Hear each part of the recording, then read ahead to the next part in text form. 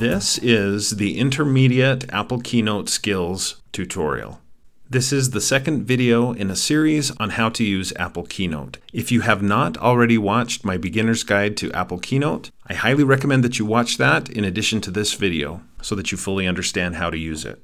And in this tutorial, we will look at an assortment of intermediate skills that can really enhance your presentation. In the beginner's guide, I showed you how to add transitions from one slide to the next. And these are just beautiful transitions. I love them. I just tapped escape to get out of the presentation. And I wanted you to see that with this transition that I added between slides, if I ever find that transition to be too fast, I can adjust it to make it so there's a longer duration on that transition. Let's try that. Okay, that's way too slow, I think. But you can see the effect that that has of changing the duration of the transition. You can also adjust how and when the transition happens. Right now it's on click. So as soon as the presenter taps spacebar or the right arrow key or hits return on the keyboard or clicks with a left click, that transition happens. You can also make it transition automatically. So I could say after, let's say, 4.5 seconds, the transition will happen. So now if I play the presentation, I don't have to click at all. I don't have to tap spacebar at all. I just wait 4.5 seconds and the transition happens. And so if you don't want to have to have a presenter remote in your hand, or if you don't want to have to go up and tap spacebar, you just want the presentation to run automatically, you can do that. Change it from start transition on click, change that to automatically. In this case though, I'm going to keep it at on click. So that's a little bit more information about transitions from one slide to the next. Now let's look at something related to transitions, and that is animations. So here on the Animate panel, because I have nothing selected on this slide, it assumes that I want to change or work with the transition from slide to slide. But in this case, I don't. I would like my students to just see the words El Gato without seeing the picture of the cat. And then when I'm ready, I'll animate the cat, I'll bring the cat in. So to do that, again, I select the cat on the animate panel. There are three different sections to consider. There's a build in animation, there's a build out animation, and then an action animation. The build in section deals with how do we bring the cat into this slide. Build out is how do we take the cat off the slide. And then action is for changing how it moves on a slide or how it's emphasized on a slide. So let's take a quick look at each. So with this cat, I would like to build it in. I would like to add the cat to the slide in a certain way and at a certain time. So I click add an effect. And similar to transitions, I get several ways that I can animate. I could try anvil effect. That doesn't make a lot of sense for a cat. I could try fade and move. There's fade and move. And you can change the direction of the move, the duration, the distance, all of that. I could try blur. That's a nice effect, I think. Fade and scale. There's just so many options here that are interesting and fun. So feel free to explore. And similar to transitions, animations, again, are a strength of Apple Keynote. They really do set Keynote apart from its competitors. I just don't think you can do stuff like this effectively using Google Slides, for example. There's confetti and there's pop, just all sorts of wonderful animation effects. Flame, that's kind of dramatic. I'm going to go with comet. Let's try that one. So the cat comes in as if on a comet. And similar to some of those other transitions, I can choose a direction, right to left, left to right. I'm going to keep it left to right.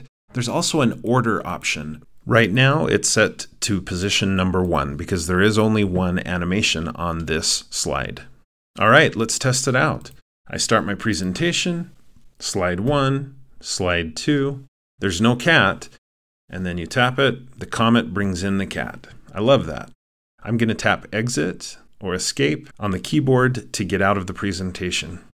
Now, what if I change my mind about El Gato Maybe I would like to animate that as well. I can easily do that. Again, here on the Animate panel, I can click a build-in effect, add an effect, and it's a good idea to limit the number of animations that you use. If you have too many, it can be more of a distraction than anything else. So I'll just use Comet again. But this time, now that I have two animations, you'll notice that I can switch the order. I could make El Gato in the first position and the picture of the cat in the second position. So let's try that. I click play. There's nothing on the screen until I advance the presentation. Now it says El Gato. I advance again, shows the cat.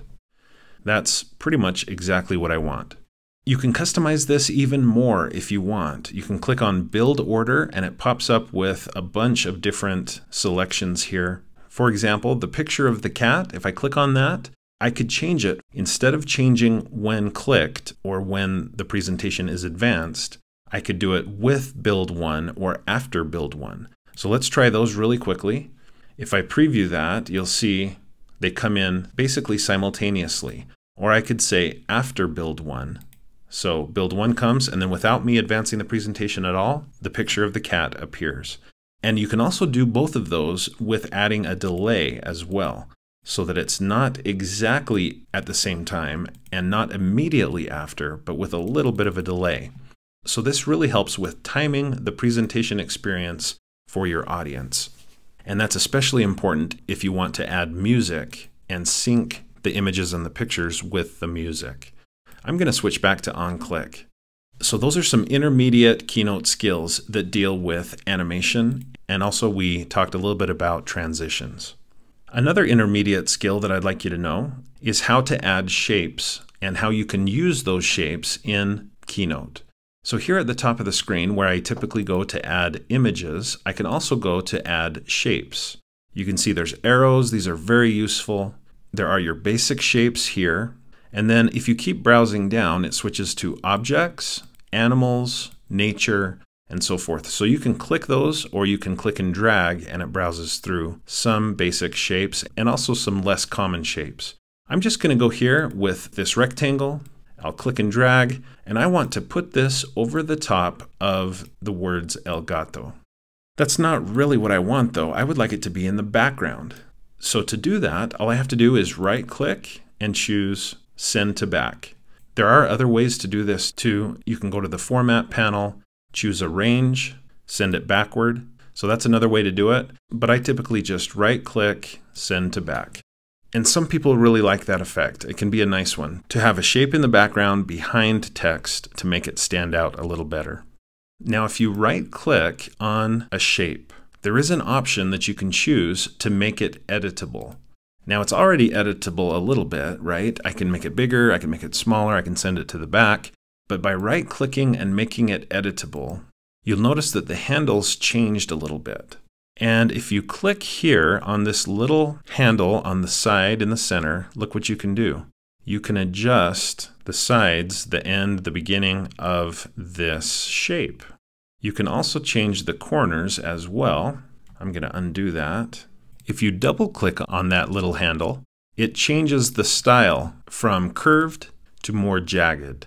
You can see that here. So try that out. That's an intermediate skill that should come in handy to be able to add a shape, then right click on it, make it editable, and then adjust some of the points that you see in the shape. This one has lots of editable handles. I'm going to undo this new shape to get rid of it. The next intermediate skill that you should know is how to fix images like this one. A lot of times when you add an image to Keynote, it's going to have a rectangle in the background or colors on it that you don't want. And there's a pretty easy and really powerful tool built into Keynote that helps you solve this problem. All you have to do is click on your image, make sure that you're on the Format panel in the Image section, and just click Instant Alpha then put your mouse on the image and pick the color that you want to make disappear. So white. And look how beautifully that worked. Now I can click done and the elephant now stands out and really pops just like these other animals do. Now sometimes it's not quite so simple. Notice what it says. If it doesn't work beautifully the first time, try what it says here. Drag to make similar colors transparent. So I could drag to select some of these other colors in this case, it, it doesn't show it very well, but basically it will erase more of the colors. So try that if it doesn't work simply by clicking on one color. I'm going to reset it back. and just get rid of the color white. The next intermediate Keynote skill that you should know about is how to copy and paste a text style. So for example, this title here, I can go in and choose the text section here of the format panel, and I can make it italicized. I'm going to change the font to something a little different, maybe this one here.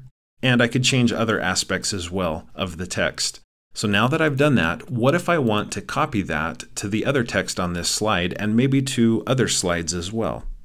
There's a keyboard shortcut you can use. With the text selected, just hold the Option key, hold the Command key, and tap C. Command C usually does a copy, and in this case, Option Command C copies not the text, but the style. Now I'll click on El Elefante, and I'll hold Option Command and tap V, and it just copy pasted all of the text style aspects of this and pasted it here on top of this. And then of course I could switch to another slide and do the same. Let's move on to our next skill, and that is linking. You can right click on just about anything, text or images, and add link. And this link that I'm adding to the zebra in this case, it's going to link to another slide in my presentation. So I want it to link to the first slide. Or I could make it go to the last slide or to a specific slide, slide number three. But I think I'll stick with first slide. And then I'll click Go to Slide. So let's test it out. I begin my presentation, I click on the zebra, and it takes me back to the first slide. I'll escape out of there. Now, in addition to right-clicking and adding links that go to a different slide, you can also have it go to a web page.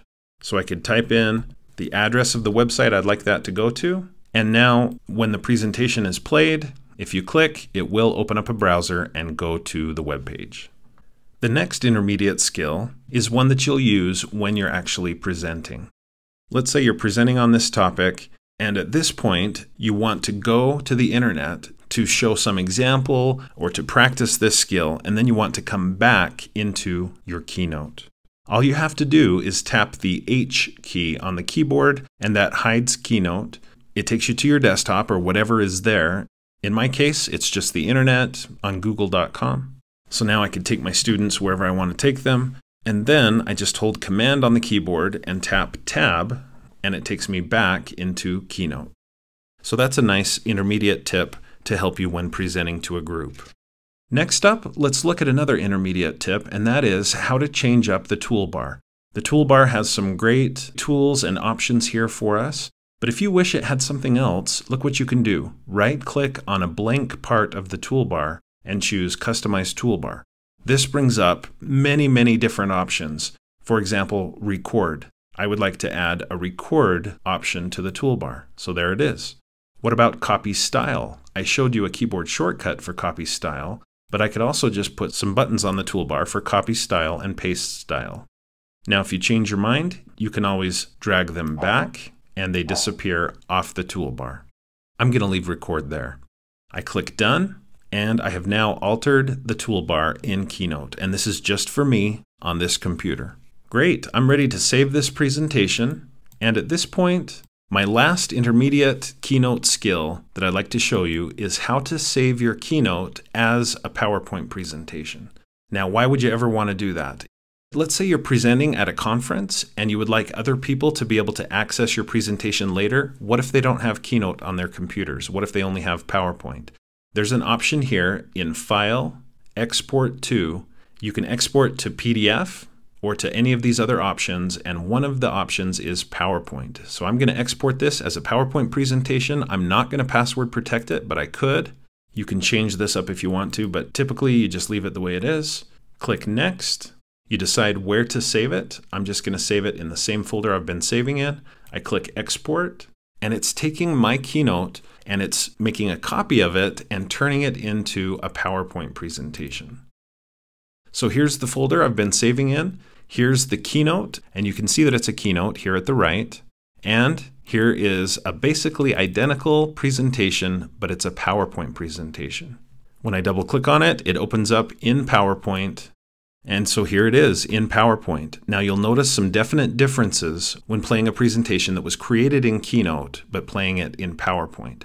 It's not quite the same, but at least people that don't have Keynote on their computers will be able to watch your presentation on their own computers. Thanks for watching this tutorial. I hope you found it to be helpful. If you did, please click the like button below and consider connecting with me on my social media accounts like Facebook, Pinterest, and Twitter. And definitely do subscribe to my YouTube channel for more videos about technology for teachers and students. And when you do subscribe, please click the bell next to the subscribe button. That way you'll be notified whenever I post another video, and watch for another video from me at least every Monday. If you'd like some recommendations for great presenter remotes, look in the description below. I have some links there. And if you'd like to support my YouTube channel, consider becoming a supporter of mine through my Patreon account, and you'll find a link to that in the description below.